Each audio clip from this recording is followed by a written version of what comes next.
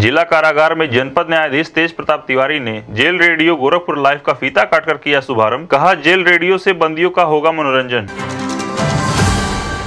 गोरखपुर में 17 व 18 फरवरी को 47 परीक्षा केंद्रों पर पुलिस भर्ती की परीक्षा सीसीटीवी की निगरानी में की जाएगी आयोजित। सभी केंद्रों पर मजिस्ट्रेट को किया गया है तैनात। चप्पे चप्पे पर रहेगी पुलिस। पूर्वोत्तर रेलवे के द्वारा महाप्रबंधक सौम्या माथुर की अध्यक्षता में प्रेक्षागृह में अड़सठवां रेल सप्ताह समारोह का किया गया आयोजन। संतावन रेल कर्मचारियों को विशिष्ट रेल सेवा पुरस्कार से किया गया सम्मानित।